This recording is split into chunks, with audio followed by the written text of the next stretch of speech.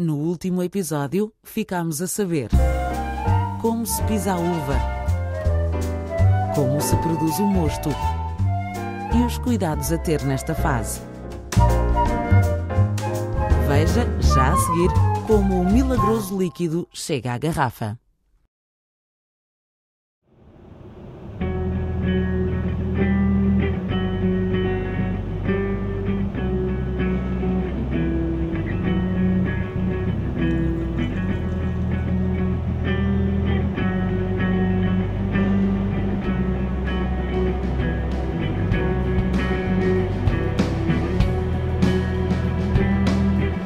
Dia já não é assim tão complicado fazer vinhos de qualidade, porque há tecnologia disponível, já, já se, há muitas formas de se trabalhar o vinho.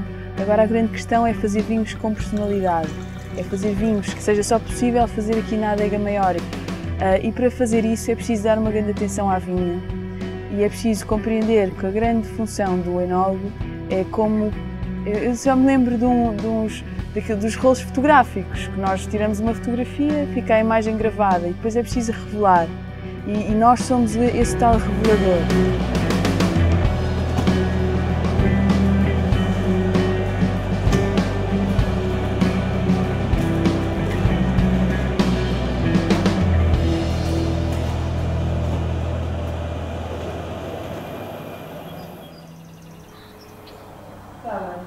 Nada, digamos. Chamo-me Rita Naveiro, eh, sou administradora da Adega Maior eh, e tenho funções na área de marketing e comunicação. Estou, olá, como está? Tudo bem? Tudo. Então, ligou-me. Eu estou neste projeto desde o início. A Adega Maior estava vinha numa, numa, fase de construção e eu eh, estava na altura a trabalhar fora da empresa, dentro, de, dentro da área de, de design, e senti que que havia ali uma, uma abertura para poder apresentar uma, uma proposta. E foi isso que eu fiz. Apresentei uma identidade para a marca, para os vinhos. Depois, a partir daí, as coisas começam a arrancar todo o vapor. A marca vai para a rua, a adega é inaugurada, as coisas começam a andar muito mais rápido.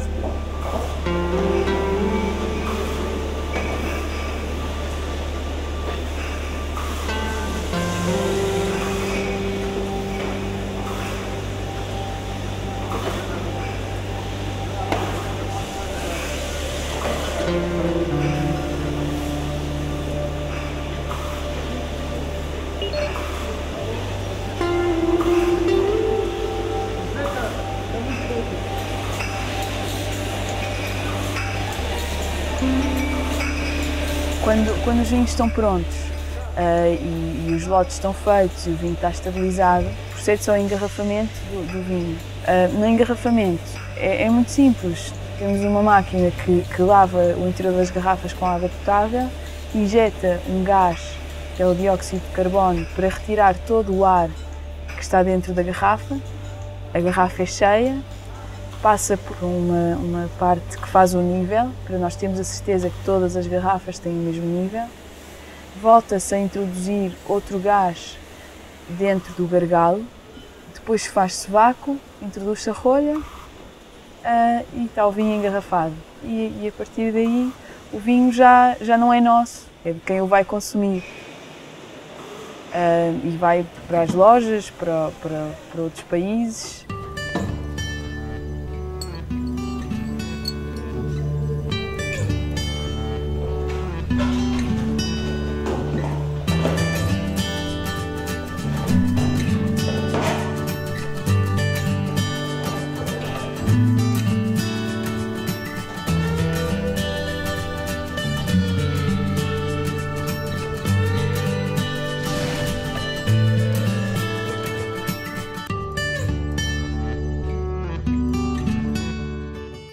E pronto, agora é só abrir a garrafa, deixar que o vinho respire e saboreá-lo com prazer.